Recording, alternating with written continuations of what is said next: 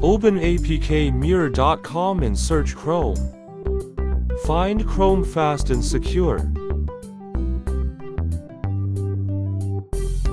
Download APK ARM64-v8a or Universal build. Save the APK file to an USB disk formatted in FAT32.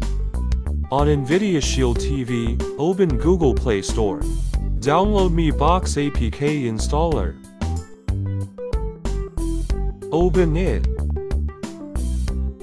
Insert USB disk and click Pick an APK to install.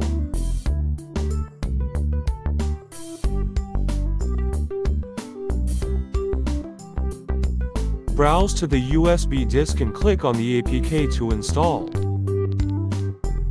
Use a mouse in this picker if you can't operate correctly. Back to Home Launcher, if you don't see the Chrome icon, download Sideload folder to open it. Now you can use Shield controller's right stick as a mouse so it's really convenient.